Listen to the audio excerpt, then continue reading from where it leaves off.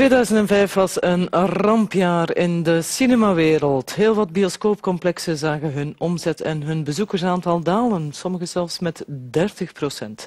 De grote spelers zoals Kinepolis zien vooral toekomst in nog grotere, luxueuze entertainmentcentra, waar je kan film kijken, op restaurant gaan en winkelen. Maar er zijn er ook die blijven geloven in klein maar fijn. Agnes de Bailly is 78 jaar en runt al jaren haar cinema. Cinema de Keizer in Lichtervelde.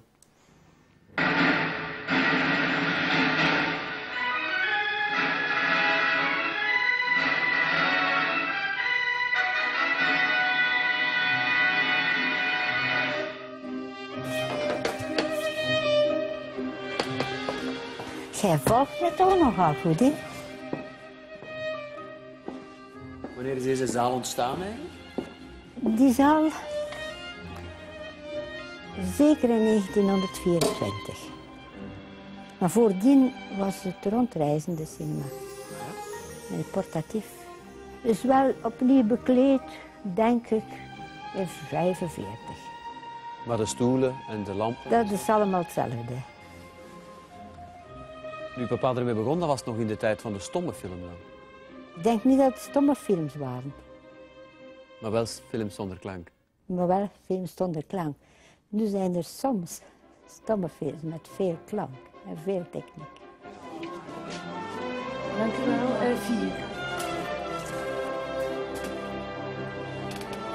Dat is 20.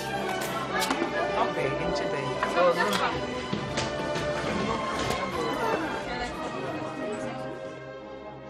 Waarom komen jullie graag naar hier? Omdat het hier popcorn zien en kita Oh ja, omdat hier gezellig is ook. En de stoeltjes zijn goed. Ik vind dat een heel leuk zaaltje, ehm, omdat het nog ouderwets is. En, ehm, en je mag hier iets meer dan ergens anders ook. Je mag hier met je voeten op de, op de bank liggen. Je mag hier met je colaflesje binnen. Ik vind het een heel leuk zaaltje. tof hè, dat dat nog bestaat. Dat niet alles overgenomen wordt door het kapitalisme of het grote kapitalisme. Dat, dat, nog, allee, dat, dat, dat moet blijven. Hè. Dat is mijn favoriete plaats. Mensen gaan nu naar het Groot Warenhuis.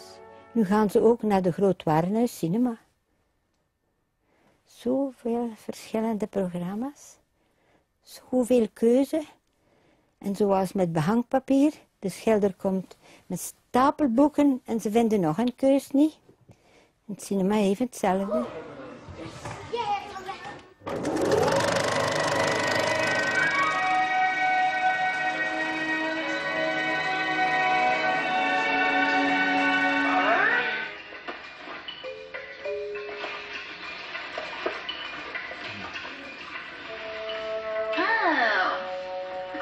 Maar kan jij er uw boterham mee verdienen, zoals men dat zegt?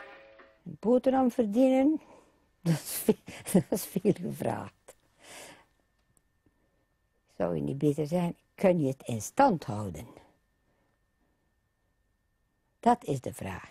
Het is eigenlijk een beetje microbe. Ik zit er een beetje van gebeten. En dan vindt u het niet erg om af en toe zelf wat geld in de zaak te stoppen om het in stand te houden. Ik vind het niet erg om heel dikwijls voor niets te werken. Dat vind ik niet erg.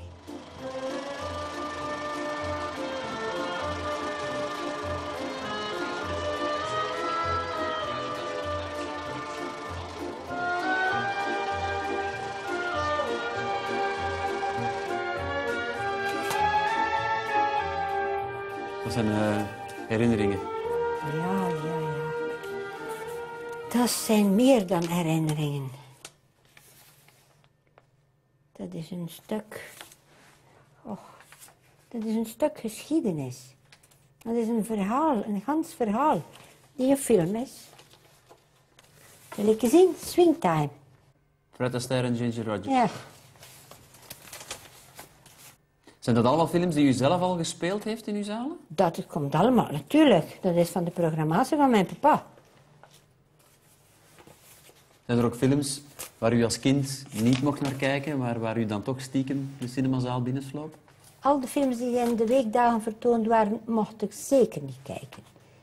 Ik heb toch wel een gezien. Ik was de zaal binnengekropen. Het was een harde film.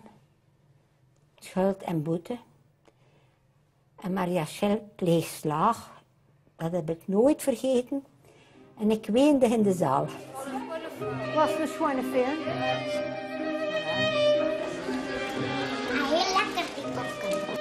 Krijg je op sommige momenten de zaal nog volledig vol?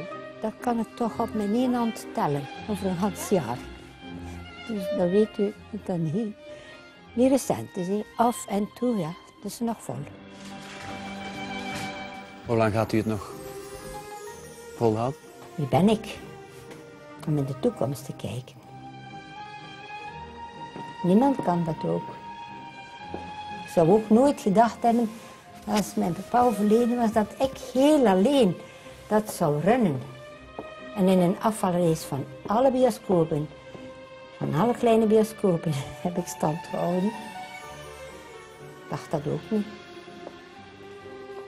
Probeer, je mag starten.